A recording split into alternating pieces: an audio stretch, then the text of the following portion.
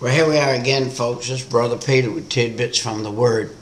One of the reasons I'm in this setting right here today for a few minutes is I wanted you to see the birds coming and eating off my bird feeder outside. I want you to know that every last one of those birds belongs to God.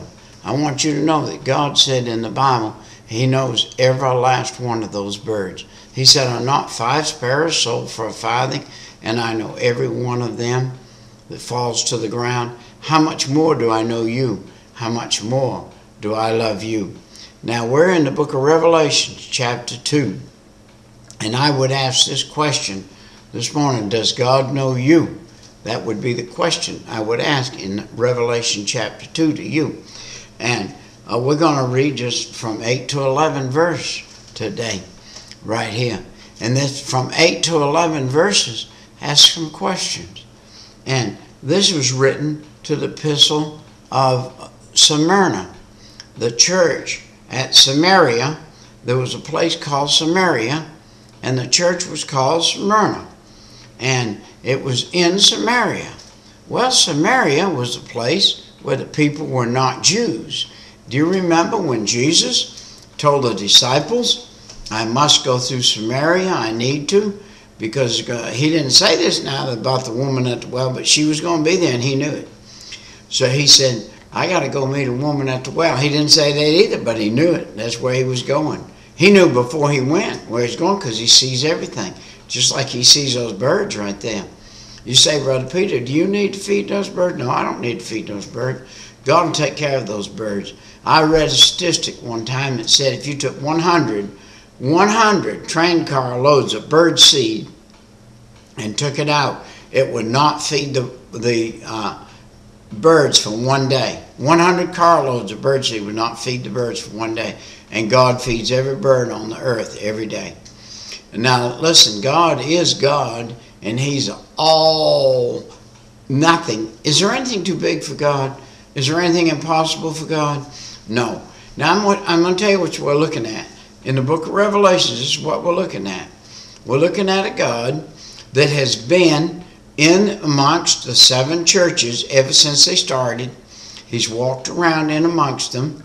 He's took his hand and he's changed angels for those churches through periods of time.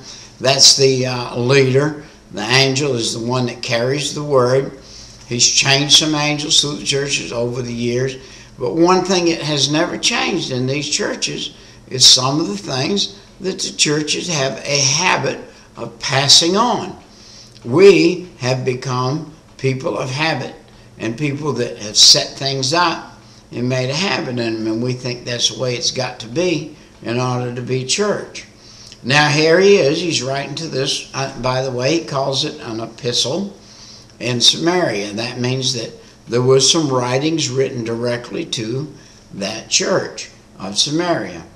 And he writes unto them, unto angel, write these things. He's telling John, saith first, and the last, which was dead, and now is alive. Now Jesus is going to keep saying this. Seven, eight, this is about the eighth time we've heard him say it. Now you know what? He's going to say it all the way through. You know why? He wants us to hear that he died. That's the death, and that he rose again from the burial, and that's the resurrection. He was buried, he died and was buried, he rose again, and that's the resurrection the death, the burial, and the resurrection. Well, Brother Peter, what is the gospel? The gospel is the death, the burial, and the resurrection of Jesus Christ. That's the gospel.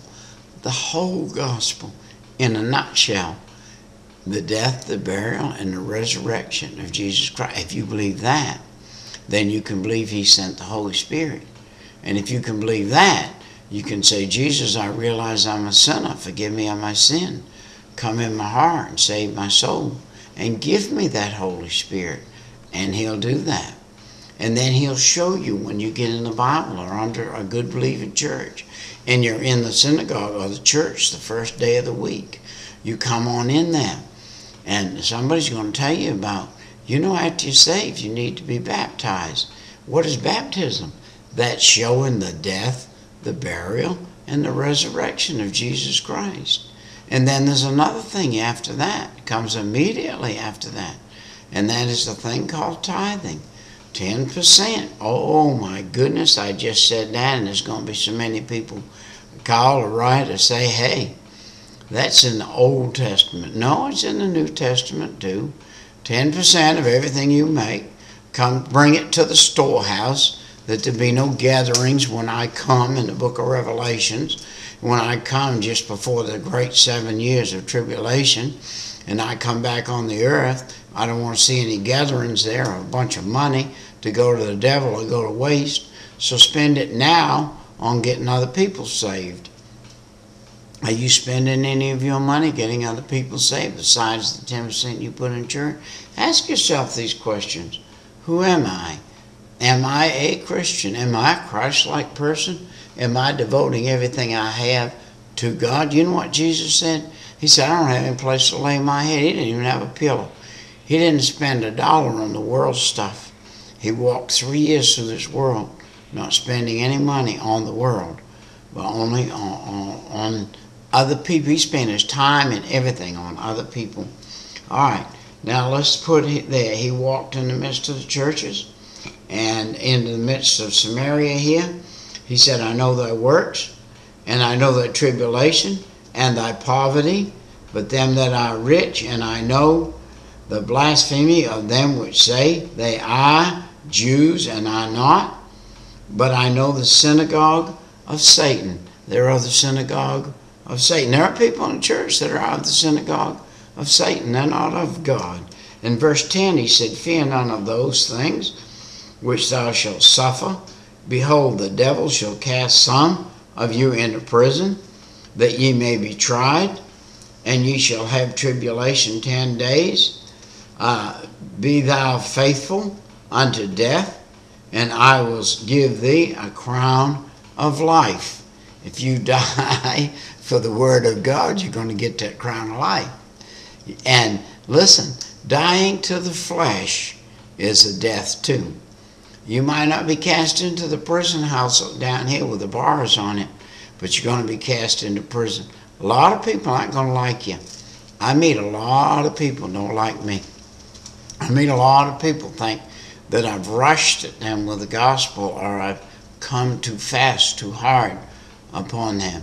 Well, sometimes I do let my zeal overrun me. If you should happen to be watching this excerpt right here, and I in any way have come and offended you with my zeal, forgive me.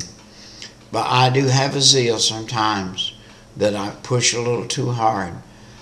A, a real good friend of mine uh, Brother uh, Brad Thompson told me uh, not too long ago, Brother Peter, the Holy Spirit doesn't push, the Holy Spirit leads. Be careful. And I need to be careful not to be a pusher, but to be a leader. Listen to this last verse that we're going to read in this one today.